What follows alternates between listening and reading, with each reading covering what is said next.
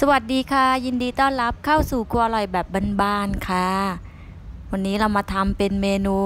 ทำไข่เค็มกินเองค่ะ ต้มเสร็จแล้วให้ดู เห็นไข่แดงไหม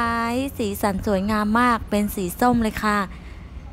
ทำได้ออกมาเป๊ะเหมือนอย่างที่เราซื้อเขากินเลยค่ะ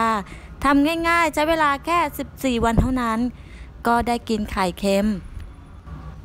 ที่เราทำเองด้วยฝีมือของตนเองค่ะแล้วก็ทำง่ายๆทำง่ายจริง ๆ แล้วก็ทำไม่ยากนะคะ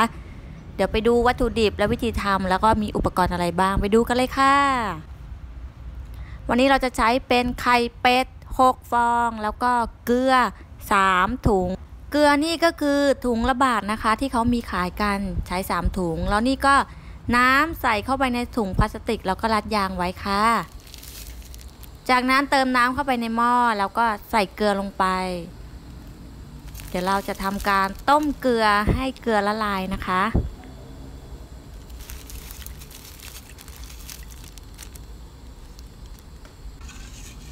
ต้มให้เกลือละลายแล้วก็ให้เดือดแล้วก็พัก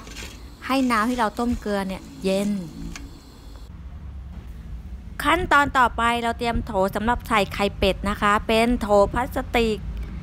เดี๋ยวเราจะเทน้ำเกลือที่เราพักไว้จนเย็น ใส่ลงไปค่ะ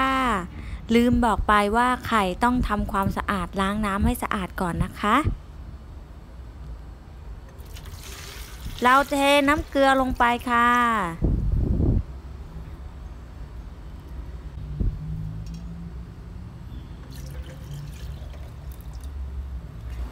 ขั้นตอนต่อไปเราเอาถุงพลาสติกที่เรารัด ใส่น้ำไว้ ใส่ลงไปในโถแล้วก็ปิดฝาเลยค่ะทำไมต้องใส่ถุงน้ำลงไป เพราะว่าเราต้องการให้ไข่มันจมลงไป ดันไข่ให้มันลงไปและน้ำเกลือจะได้ท่วมถึงไข่ทุกลูกทุกฟองค่ะ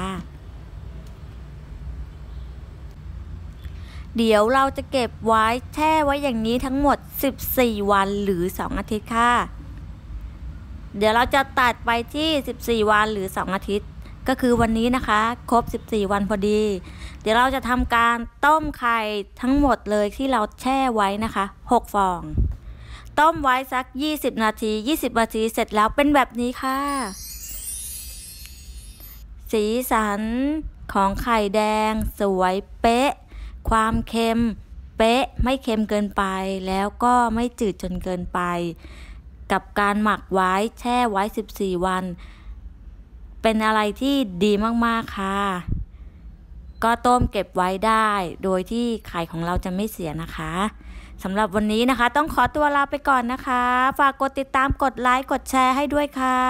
สำหรับวันนี้ไปก่อนค่ะ สวัสดีค่ะ